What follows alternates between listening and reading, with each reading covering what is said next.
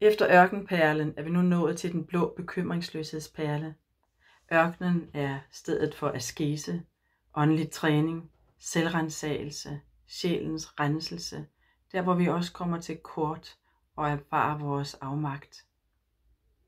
Den blå farve minder om en oase, som netop er midt i ørkenen.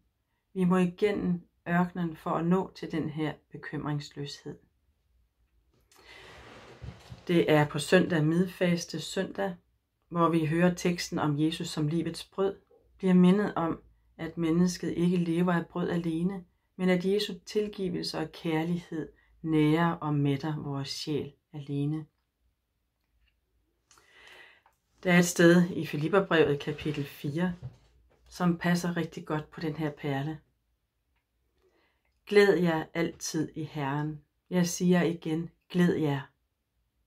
Vær ikke bekymret for noget, men lad i alle ting jeres ønsker komme frem for Gud i bøn og med tak, så skal Guds fred, som overgår al forstand, bevare dit hjerte og dine tanker i Kristus Jesus. Glæd jer altid. Der er en dyb glæde, som er uberørt af livets omstændigheder og følelser og hvordan det går lige nu. Glæden, som hviler på bunden af hjertet. Ved at overgive vores bekymringer til Gud, igennem at udtrykke vores ønsker og lade det ligge hos Gud, så indfinder der sig en dyb fred, så må vi synke ind i den her dybe fred, som også hviler på bunden af hjertet, der overgår al forstand og enhver tanke og erfaring. Martin Lønnebo kalder den her perle for apatheia. Det er jo beslægtet med apati. Og øh, han kalder den også for hellig ligegyldighed, og det giver jo mere mening.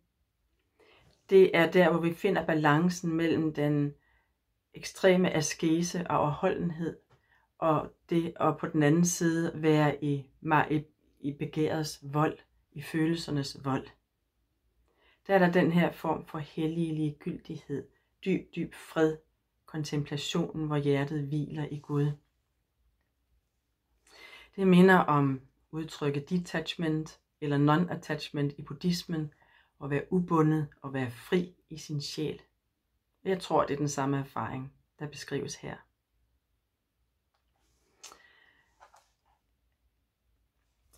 Jesus siger til sidst i den her tekst til midfaste søndag, den der kommer til mig skal ikke sulte, og den der tror på mig skal aldrig tørste. Det er bevidstheden om Jesu kærlighed og Jesu tilgivelse, der sætter os fri og der virkelig mætter sjælen. Her til sidst vil jeg guide en kort meditation med Jesu navn, hjertebønden. For det er igennem den, at vi kan lade Jesu navn, som mætter alt, som frisætter os, tilgiver os, at vi kan lade det synke dybt ind i bevidstheden.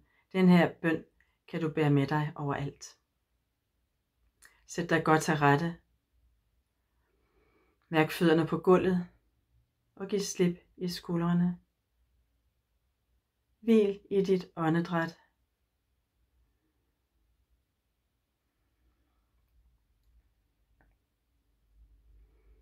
Du kan nu på indåndingen tænke Jesus Kristus, og på udåndingen forbarm dig over mig.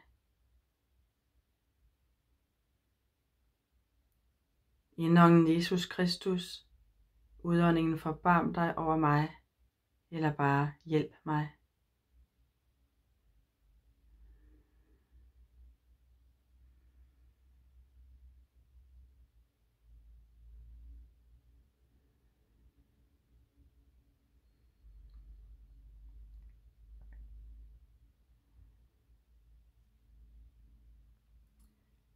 Jesus Kristus, forbarm dig over mig.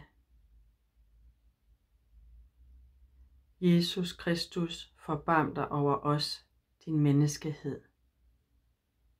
Amen.